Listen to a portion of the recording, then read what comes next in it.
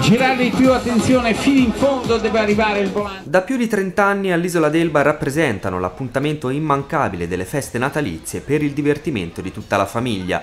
Stiamo parlando delle giostre dei fratelli Roberto e Luciano Cucini che dal 1980 con la loro attività fanno tappa fissa a Portoferraio. E ormai è un appuntamento fisso, tutti diciamo arriviamo col Natale. Siamo babbi natali di Portoferraio perché portiamo un po' di movimento per i bimbi, penso che sia una cosa gradita. Qual è il vostro rapporto con l'Elba e con gli Elbani?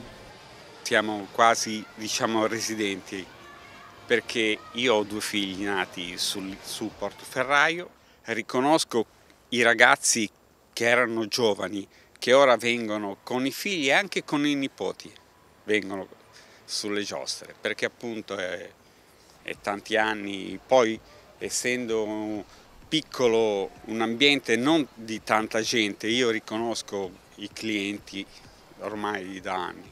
Dopo la tappa Elbana, il Luna Park Cucini si sposterà in altre città, principalmente della costa toscana. Come si vive a doversi spostare sempre in posti nuovi?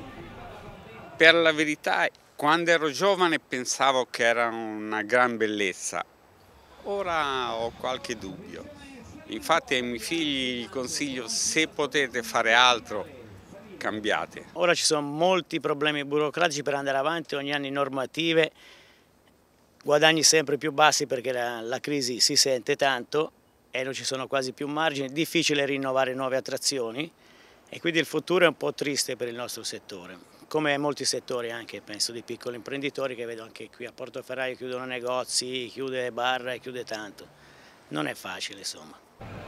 Anche in questo settore, come abbiamo sentito, le difficoltà non mancano, ma Luciano e Roberto raccontano del loro lavoro con passione e fino all'11 gennaio vi aspettano a Portoferraio con le loro attrazioni. Fino all'11 gennaio, ora per tutte le feste, quindi siamo attivi qui. Aspettiamo numerosi bambini.